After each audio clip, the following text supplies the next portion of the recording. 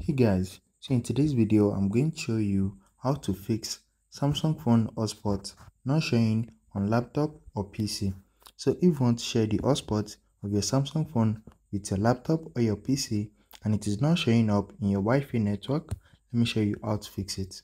So the first thing is scroll down to your control center and long click on mobile hotspot. Once you long click on it it's going to take you to your hotspot settings.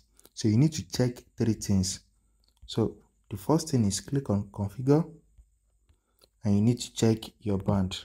So if your band is set to 5 GHz, some devices that don't support 5 gigahertz won't be able to find or connect to your hotspot.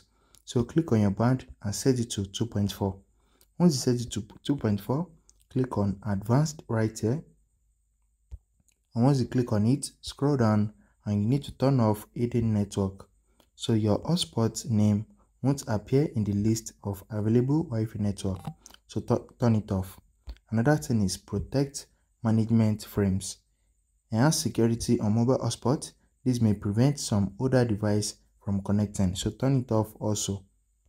Once you turn it off click on save at the bottom and now try connecting your samsung phone hotspot with your laptop or pc and you're going to see the Wi-Fi and you'll be able to connect it. You found this video helpful, smash the like button and subscribe to my channel for more amazing videos like this. Thanks for watching.